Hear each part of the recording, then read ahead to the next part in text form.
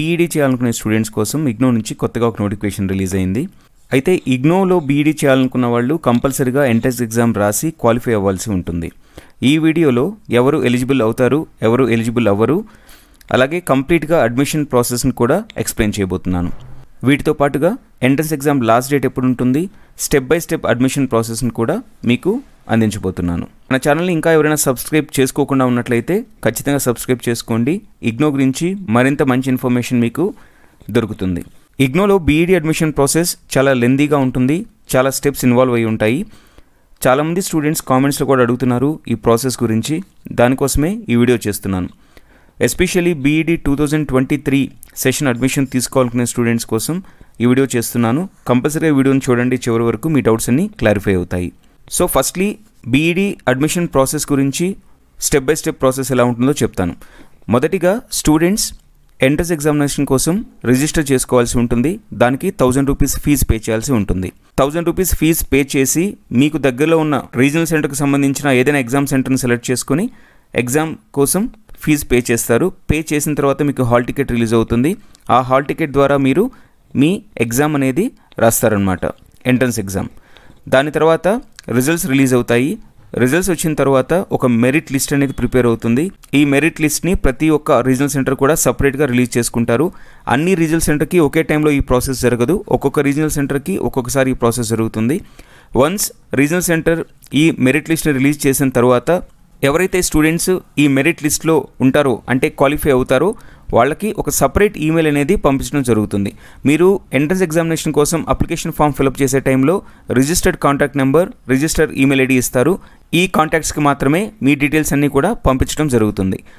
ఒకసారి మీరు మెరిట్ లిస్ట్లో మీ పేరు యాడ్ అయిన తర్వాత మీ ఈమెయిల్ ఐడికి ఒక లింక్ ద్వారా అన్ని డీటెయిల్స్ పంపించడం జరుగుతుంది. ఆ లింక్ని క్లిక్ చేసి మీ సర్టిఫికేట్స్ మొత్తం కూడా దానిలో అప్లోడ్ చేయాల్సి ఉంటుంది. Fifty five thousand rupees fees pay చేయడానికి మీకు ఒక లింక్ క్రియేట్ అవుతుంది. అలా పే చేయడం ద్వారా మీరు మీ అడ్మిషన్ ప్రాసెస్ని కన్ఫర్మ్ చేసుకోవచ్చు. దీనికన్నా ముందు ముఖ్యంగా తెలుసుకోవాల్సింది ఎలిజిబిలిటీ క్రైటీరియా. నోటిఫికేషన్ రిలీజ్ అయినప్పటి నుంచి చాలా కామెంట్స్ వస్తున్నాయి నాకు. ఎలిజిబిలిటీ గురించి ఎక్కువ స్టూడెంట్స్ కన్ఫ్యూజ్ అవుతున్నారు కాబట్టి ఎలిజిబిలిటీ గురించి ఇప్పుడు నేను మీకు క్లియర్గా ఎక్స్ప్లెయిన్ చేస్తాను. So bachelor of education B Ed ఇది టోటల్గా టూ ఇయర్స్ డ్యూరేషన్ ఉంటుంది. అంటే రెండు సంవత్సరాల డ్యూరేషన్ ఉంటుంది. Minimum duration. Maximum five years లోపు కంప్లీట్ చేసుకోవచ్చు. Course fees fifty five thousand ఉంటుంది. ఎటువంటి ఏజ్ రిస్ట్రిక్షన్ అయితే ఉండదు. ఏ ఏజ్ ఏ ఏజ్ వాళ్ళైనా సరే ఈ కోర్స్కి అప్లై చేసుకోవచ్చు. ఇక ఎలిజిబిలిటీ విషయానికి వస్తే ఇక టూ టైప్స్ ఆఫ్ ఎలిజిబిలిటీ ఉంటుంది. ఒకటి ఎడ్యుకేషన్కి సంబంధించిన ఎలిజిబిలిటీ. రెండోది ఎక్స్పీరియన్స్ అండ్ సర్టిఫికేషన్ సంబంధించిన ఎలిజిబిలిటీ అనమాట ఈ రెండు కూడా ఖచ్చితంగా ఉండాలి. బ్యాచిలర్ డిగ్రీ లేదా మాస్టర్ డిగ్రీ ఎవరైతే sciences social sciences commerce humanity స్పెషలైజేషన్లో చేసి ఉంటారో. ఫిఫ్టీ పర్సెంట్ మార్క్స్ వచ్చి ఉన్న వాళ్ళు ఈ బీఈడీ చేయడానికి ఎలిజిబుల్ అవుతారు. స్టూడెంట్స్ ఎవరైనా సరే బ్యాచిలర్ డిగ్రీలో తక్కువ మార్క్స్ వచ్చి ఉండి మాస్టర్ డిగ్రీలో కనుక ఫిఫ్టీ పర్సెంట్ ఉన్నట్లయితే వాళ్ళు కూడా మాస్టర్ డిగ్రీ ద్వారా ఈ ప్రోగ్రామ్కి అప్లై చేసుకోవచ్చు.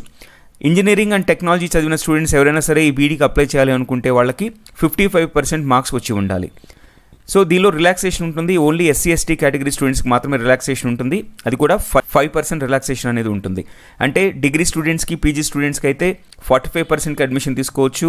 ఇంజనీరింగ్ అండ్ టెక్నాలజీ స్టూడెంట్స్ అయితే ఫిఫ్టీ పర్సెంట్కి అడ్మిషన్ తీసుకోవచ్చు. ఎస్సీ ఎస్టీ కేటగిరీ కాకుండా ఓబీసీ మరియు ఫిజికల్లీ హ్యాండిక్యాప్డ్ స్టూడెంట్స్ కూడా ఈ ఎగ్జామ్షన్ అనేది ఉంటుంది. కదా ఇది ఎడ్యుకేషన్ సంబంధించిన ఎలిజిబిలిటీ నెక్స్ట్ మరొక ఎలిజిబిలిటీ కూడా ఉంది. రెండు కూడా కంపల్సరీగా పాటించాలి. మీరు స్క్రీన్ మీద చూసారంటే ఏ అండ్ బి అని రెండు ఉన్నాయి. ఏ లేక బి కాదు ఏ అండ్ బి ఏ మరియు బి రెండు కూడా ఎలిజిబిలిటీ ఉండి ఉండాలి. చదువుకు సంబంధించిన ఎలిజిబిలిటీ అయిపోయిన తర్వాత నెక్స్ట్ ఉండాల్సిన ఎలిజిబిలిటీ ఏంటంటే trained in service teachers in elementary education. అంటే టీచర్స్ ట్రైనింగ్ పొంది ఉండాలి అలాగే in service present employed as a టీచర్గా ఉండి ఉండాలి. ఇది కంపల్సరీ రూల్. నెక్స్ట్ రూల్ వచ్చేసి క్యాండిడేట్స్ ఎవరైతే బీడీకి అప్లై చేయాలనుకుంటారో వాళ్ళు ఎన్సిటిఈ ద్వారా రికగ్నైజ్ పొందిన కోర్స్ చేసి ఉండాలి. అది కూడా ఫేస్ టు ఫేస్ మోడ్లో చేసి ఉండాలి. ఎవరైతే ఓడిఎల్ మోడ్లో ఓఎల్ మోడ్లో లేదా ఓపెన్ మోడ్లో డిస్టెన్స్ మోడ్లో టీచర్ ఎడ్యుకేషన్ ప్రోగ్రామ్ చేసి ఉంటారో వాళ్ళు ఈ కోర్సుకి ఎలిజిబిలిటీ పొందరు. కంపల్సరిగా ఫేస్ టు ఫేస్ మోడ్లోనే ఈ టీచర్ ప్రోగ్రామ్ అనేది చేసి ఉండాలి. అది కూడా ఎన్సిటిఈ రికగ్నైజ్డ్ ప్రోగ్రామ్ అయి ఉండాలి. ఎందుకంటే చాలా చాలా ఇన్స్టిట్యూట్స్ అండ్ చాలా వెబ్సైట్స్ కూడా ఈ టీచర్ ఎడ్యుకేషన్ ప్రోగ్రామ్ని ఆఫర్ చేస్తున్నాయి.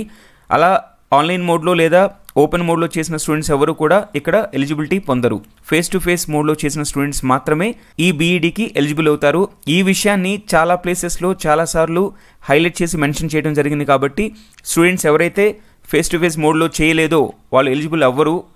చేసిన వాళ్ళు ఎలిజిబుల్ అవుతారనేది గుర్తుపెట్టుకోండి. ఇది ఓవరాల్గా ఎలిజిబిలిటీ క్రైటీరియా సో ఎడ్యుకేషన్ క్రైటీరియాతో పాటు ఇన్ సర్వీస్ టీచర్ అయి ఉండాలి టీచర్ ట్రైనింగ్ పొంది ఉండాలి NCT recognised teacher education programme finish చేసి ఉండాలి అది కూడా ఫేస్ టు ఫేస్ మోడ్లో సో నేను step by step admission process explain చేశాను అలా అలాగే మీకు ఎలిజిబిలిటీ ఎక్స్ప్లెయిన్ చేశాను డ్యూరేషన్ ఎక్స్ప్లెయిన్ చేశాను ఫీజు కూడా ఎక్స్ప్లెయిన్ చేశాను. ఇక ఎంట్రన్స్ ఎగ్జామినేషన్ విషయానికి వచ్చేస్తే ఈ ఎగ్జామ్కి అప్లై చేసుకోవడానికి ట్వంటీ డిసెంబర్ వరకు టైం ఇచ్చారు. ఈ టైంలోపు మీరు ఈ ఎంట్రన్స్ ఎగ్జామ్కి అప్లై చేసుకోవాలి.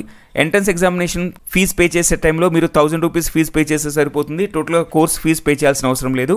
ఓన్లీ మీరు ఎగ్జామ్ బాగా రాసి క్వాలిఫై అయ్యి మెరిట్ లిస్ట్లో ఉంటే మాత్రమే మీరు కోర్స్కి ఫీ పే చేయాల్సి ఉంటుంది. ఈ బీఈడి సిలబస్ గురించి నేను ఆల్రెడీ మీకు రెండు వీడియోస్ చేసి ఉన్నాను. ఆ వీడియో లింక్స్ని కింద డిస్క్రిప్షన్లో ఇస్తాను. ఈ వీడియోతో పాటు ఆ టూ వీడియోస్ కూడా చూడండి. మీ డౌట్స్ మొత్తం ఇంకా క్లారిఫై అవుతాయి.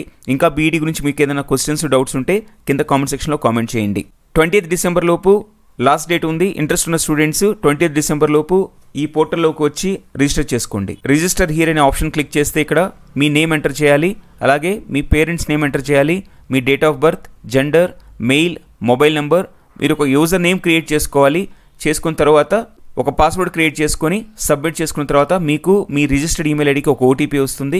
ఆ ఓటీపీని సబ్మిట్ చేయడం ద్వారా మీరు మీ అకౌంట్ని క్రియేట్ చేసుకోవచ్చు. వన్స్ అకౌంట్ క్రియేట్ చేసుకున్న తర్వాత దానిలో మీరు బీఈడీ అప్లికేషన్ ఫిలప్ చేయడానికి ఒక ఫామ్ ఉంటుంది. ఆ ఫామ్ని ఫిలప్ చేసుకొని ఆ ఫామ్ నెంబర్ని మీకు ఒక కంట్రోల్ నెంబర్ జనరేట్ అవుతుంది. ఫామ్ ఫిలప్ చేసిన తర్వాత దాన్ని మీ దగ్గర జాగ్రత్తగా ఉంచుకోండి. మీకు దాని ద్వారా ఏదైనా ఫ్యూచర్లో హాల్ టికెట్స్ ఇష్యూ కాకపోతే ఆ కంట్రోల్ నెంబర్ యూజ్ చేసుకొని మీరు కంప్లైంట్ అనేది రైజ్ చేసుకోవచ్చు. ఇలా ఉంటుంది ఎంట్రన్స్ ఎగ్జామినేషన్ ప్రాసెస్. ఓకే ఇంకా ఏదైనా డౌట్స్ ఉంటే కింద కామెంట్ సెక్షన్లో కామెంట్ చేయండి. బీడీ గురించి. All the very best. See you in next video